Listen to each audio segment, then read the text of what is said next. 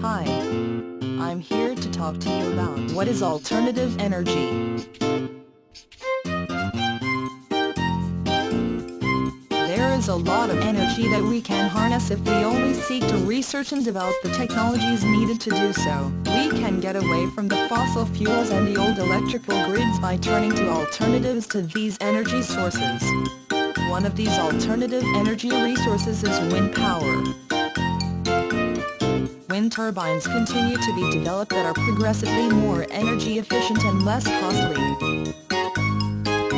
Wind farms have been springing up in many nations, and they have even become more strategically placed over time so that they are not jeopardizing birds as former wind turbines did. Another alternative energy resource is the one that is most well known, solar energy. A generator in France has been in operation for many years now and is considered to be a great success, and the Irish and Scots are running experimental facilities. Hydroelectric power has been with us for a while and where it is set up, it is a powerful generator of electricity and cleaner than a grid. However, there are certain limitations to the availability of the right places to set up a large dam.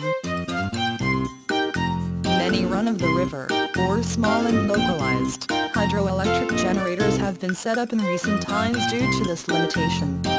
Geothermal energy is extremely abundant, since it lies directly beneath our feet, just a few miles below the Earth's surface. This energy is produced by the heating of water through the actions of Earth's fantastically hot molten core. This gas is used in fuel cells and can be used in standard gasoline generators.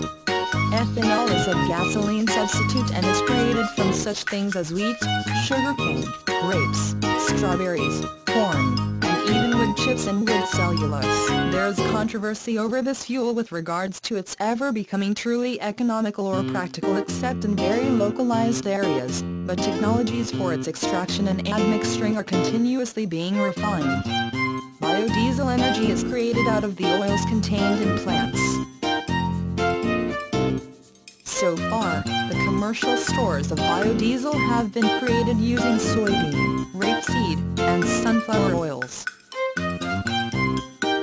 At the time of this writing, biodiesel is typically produced by entrepreneurial-minded individuals or those who want to experiment with alternative energy, but commercial interest from companies is on the rise.